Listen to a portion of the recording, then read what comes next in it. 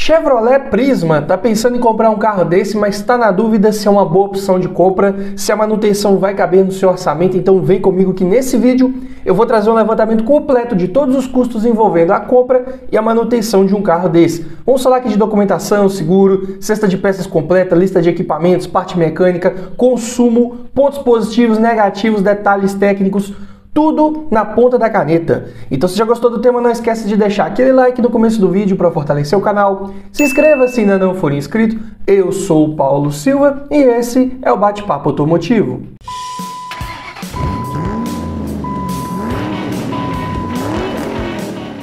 E o Prisma aqui em análise é na versão LTZ top de linha com motor 1.4 8 válvulas flex câmbio manual, ano 2017. E essa aqui é a versão pós facelift. E vamos começar falando aqui dos custos envolvendo a compra de um carro desse. Todos os preços que eu disser nesse vídeo foram cotados em setembro de 2022, começando pela tabela da KBB, que nesse vídeo vai fazer referência a um veículo em bom estado de conservação, com a quilometragem média de 10 mil quilômetros rodados por ano e preço médio de venda particular tá? R$ 60.073. Já a tabela FIP está um pouco acima desse valor, R$ 62.521. E uma vez adquirindo um veículo desse, você vai precisar fazer a transferência de propriedade dele para o seu nome. E a taxa de transferência esse ano está em R$ 233,74. Assim como também você vai precisar colocar as placas Mercosul, se você estiver adquirindo esse carro de um outro município e ele já não tiver essas placas instaladas. Em média, aqui na minha região é cobrado em torno de 300 reais. Então, já no ato da compra, considerando tabela FIP, você vai desembolsar para um carro desse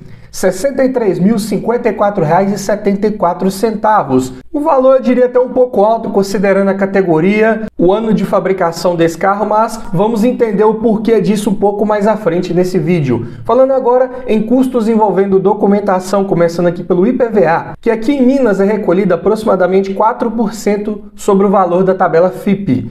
Porém, esse ano, excepcionalmente, não foi recolhido sobre o valor de tabela FIP de 2022, e sim sobre o valor de 2021. Foi uma medida excepcional tomada pelo governo do nosso estado.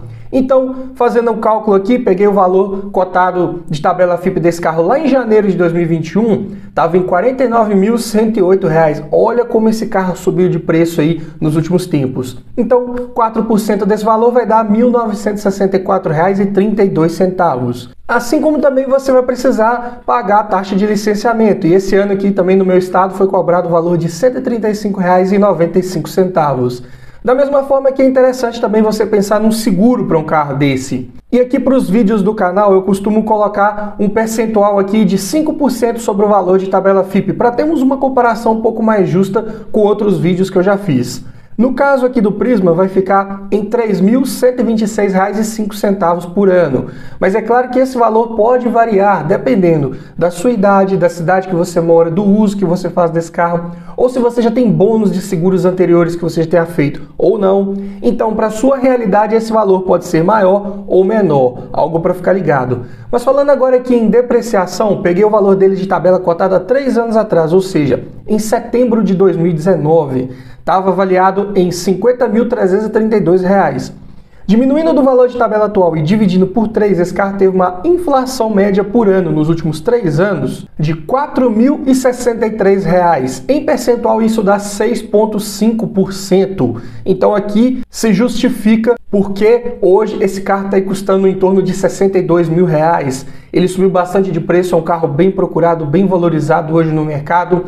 Então, por um lado é ruim porque você comprando um carro desse hoje pode estar pagando um pouco caro frente a vários de seus concorrentes, mas em compensação lá na frente, quando você precisar revendê-lo, também muito provavelmente vai perder menos valor comparado com outros aí da categoria. Algo para se pensar também.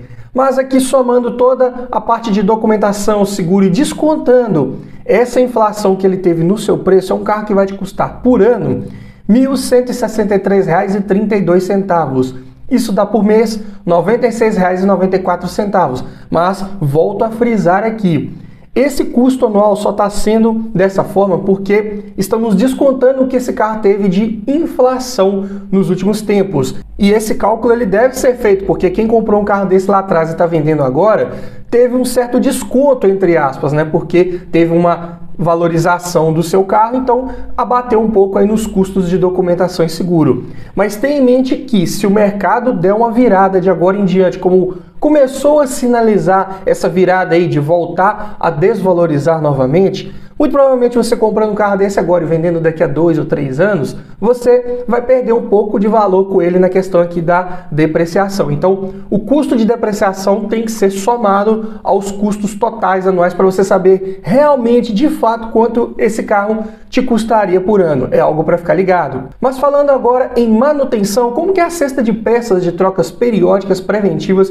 do Prisma 2017? Mas antes, eu tenho um recado para você. Tá olhando um carro para comprar, mas está na dúvida se é um bom carro, se ele foi bem cuidado, se já foi batido. Quer aprender a avaliar um carro em detalhes para você não errar na próxima compra? Para isso, eu desenvolvi um e-book completinho com mais de 280 itens do que você precisa avaliar em um carro e o que você precisa observar para cada um desses itens para você fazer uma análise mais criteriosa e não esquecer nada na hora da avaliação. Então esse e-book vem para te trazer muito mais conhecimento sobre como avaliar um carro e aumentar muito as suas chances de levar um excelente veículo para sua garagem. Link na descrição. E começando aqui pelo kit de pastilhas de freio dianteiras da Cobrec, vão ficar em 129 reais.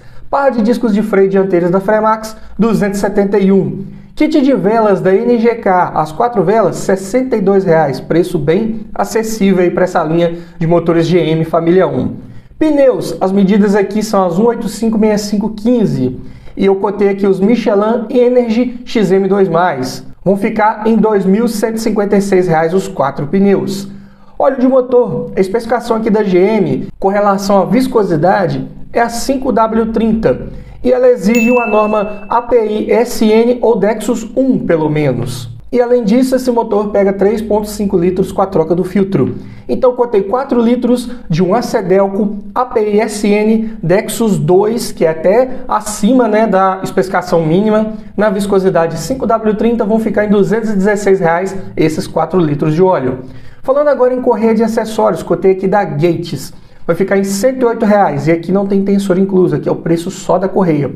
Já o kit de correia dentada, esse sim com tensor incluso, também da Gates, vai ficar em 188 reais. Preço aqui também de correias, de uma forma geral, tá bem acessível. Vamos falar agora em filtros. Cotei todos aqui da Manfilter. Começando pelo filtro de ar do motor, R$ 54,00. Filtro de óleo, R$ 18. Filtro de combustível, R$ 30,00. E o filtro do ar-condicionado, R$ 23,00. Também aqui peças bem acessíveis. Assim como os amortecedores, cotei os quatro aqui da Nakata pressurizados a gás. Vão ficar em R$ 1.160. E aqui não estão inclusos coxins, batentes, coifas, Nada disso, aqui é o preço só dos amortecedores. Então, também eu diria que ficaram bem acessíveis. E como estamos falando aqui da versão com câmbio manual, não vão entrar custos relacionados à troca do fluido de transmissão. Então, somando a cesta de peças de trocas periódicas preventivas do Prisma LTZ 1.4 2017 câmbio manual, vai ficar em R$ 4.415 comparado aqui com seus concorrentes, com outros vídeos, vários outros que eu já fiz aqui no canal, vou deixar até a playlist aqui em cima para você assistir ao final. Eu diria que está um custo bem acessível. É um carro de mecânica bem resistente, confiável, peças acessíveis, como vimos aqui em números, então sem sustos, sem problemas para manter um carro desse funcionando no dia a dia. Mas vamos falar agora dos custos envolvendo abastecimento, começando aqui pelo custo do tanque cheio. Esse carro utiliza um motor flex Porém, a gasolina aqui na minha região está com preço proporcionalmente mais vantajoso em relação ao etanol. Está numa média aí de R$ 4,99 o litro. E esse carro possui um tanque de 54 litros. Então vai ficar em R$ 269,46 para encher o tanque do Prisma. E como que fica o consumo? Peguei aqui dados de ficha técnica para passar para vocês.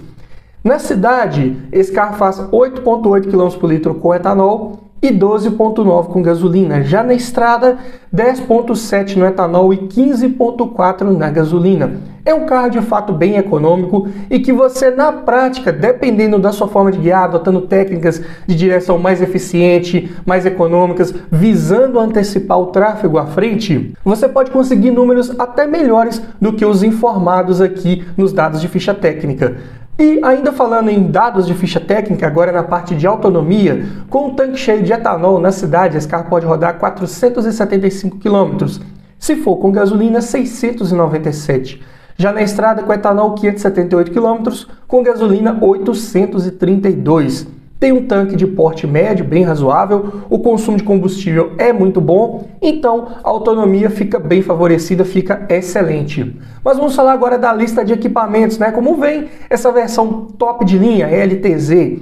De série, já conta com direção elétrica com ajuste de altura, vidros, travas e retrovisores elétricos, alarme, rodas de liga leve, ar-condicionado, computador de bordo, dupla airbag frontal e ABS, faróis de neblina, sensor de pressão dos pneus, sensor de estacionamento traseiro e sistema de chamada de emergência SOS. E isso tudo já vinha como item de série, não tinha nenhum opcional disponível nessa versão, a não ser o câmbio automático de 6 velocidades, né, o GF6 ou 6T30, como queira chamar. É um câmbio até bem resistente, confiável.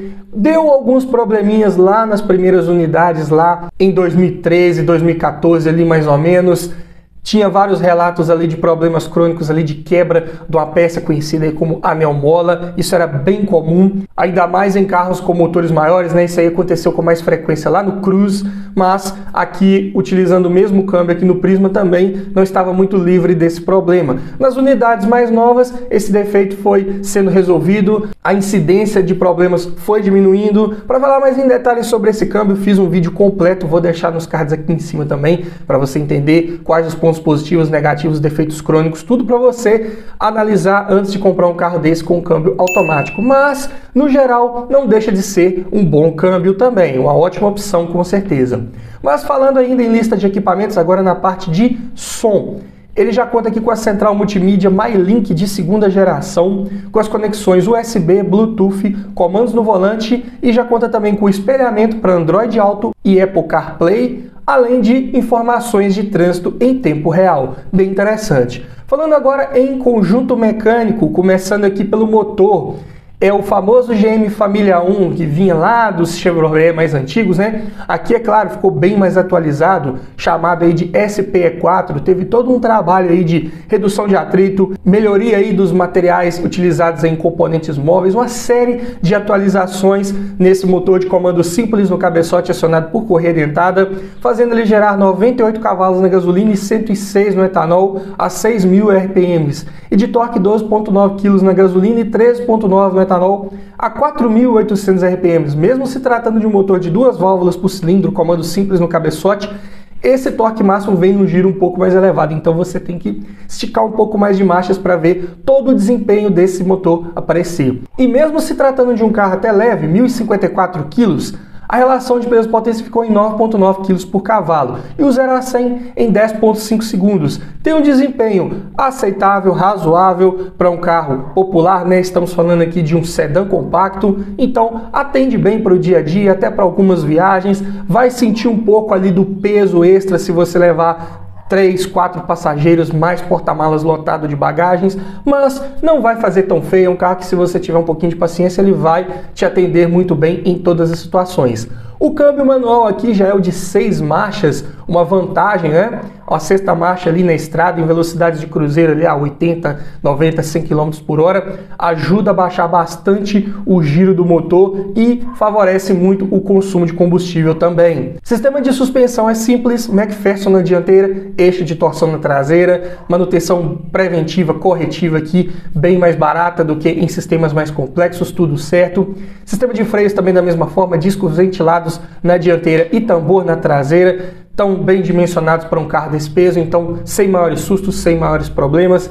Direção é elétrica, rouba menos potência do conjunto mecânico, tem assistência variável, fica bem leve ali na cidade, em baixas velocidades, para auxiliar nas manobras. Quando você pega estrada, aumenta a velocidade, ela começa a ficar mais pesadinha, te passa mais segurança nas curvas, excelente. E o porta-malas, um dos grandes pontos positivos desse carro, tem 500 litros de capacidade, muito bom, dá para levar bagagens da família inteira sem maiores problemas e ainda conta com banco traseiro rebatível. Se você não estiver levando passageiros no banco de trás, dá para aumentar ainda mais essa capacidade de carga, bem legal. E já que eu falei de pontos positivos, né? Vamos falar aqui dos principais motivos para você comprar um carro desse. O primeiro deles aqui é a robustez, confiabilidade mecânica desses motores GM Família 1, com peças de preços acessíveis na média. Tudo você encontra com muita facilidade para esse carro. É um carro que vendeu muito bem, tem muitas unidades rodando por aí, então sem maiores problemas para encontrar peças. Além disso, tem uma lista de equipamentos ok para a categoria. Eu diria que o destaque aqui vai mais é para central multimídia com bastante conectividade aí para o ano de 2017, está ótimo. Além disso, espaço interno também ok para a categoria. O destaque vai mesmo é para o porta-malas de 500 litros de capacidade. Além disso, é um carro bem valorizado, fácil de revender lá na frente, seja na versão manual ou automática. É um carro bem procurado, é um carro que você não vai perder muito valor com ele de revenda, com certeza. Porém, tenho que dizer que é um carro também um pouco caro pelo que ele entrega. Como eu disse lá no início do vídeo, você vai estar tá pagando mais para não perder muita grana com ele lá na frente. Chega a ser até meio paradoxal falar isso, né? Você pagar mais caro para não perder dinheiro, né? Mas é um carro que vai facilitar muito a sua vida de fato na hora que você for revendê-lo. É um carro mais fácil de revender, com certeza. Mas já que eu falei aqui também de pontos de atenção, você tem que ficar ligado, né? Para quem não gosta, esse carro utiliza step de uso temporário. Apesar de hoje em dia estar cada vez mais difícil a gente precisar utilizar o step, mas para quem não gosta pode se incomodar um pouco com esse detalhe. Além disso, o banco do motorista ele é mais alto, mesmo tendo regulagem de altura e mesmo no ajuste mais baixo possível.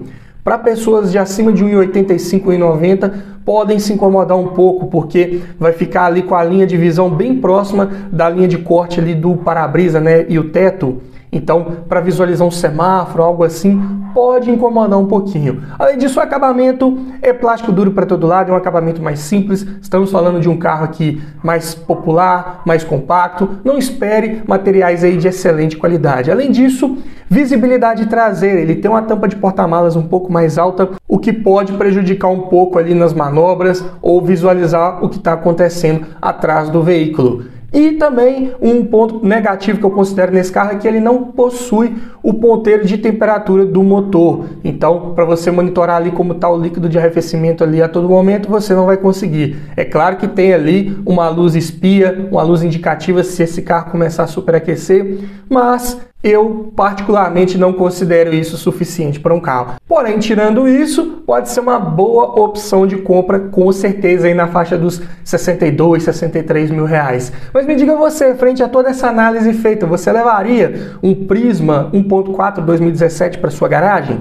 Deixe nos comentários, quero ouvir a sua opinião. E se você gostou desse tipo de vídeo, eu te convido a assistir ao final a playlist que eu vou deixar aqui, olha, com vários vídeos nesse formato. Para você que ainda está na dúvida entre um Prisma, um Voyage, um HB20, um Etios, não sei, lá já tem o vídeo que você precisa assistir para acabar de tirar suas dúvidas e levar o melhor carro para sua garagem. Então vai lá, dá uma olhada que tá legal e tá bacana. E é isso aí. Obrigado por assistir, aquele abraço e até o próximo vídeo.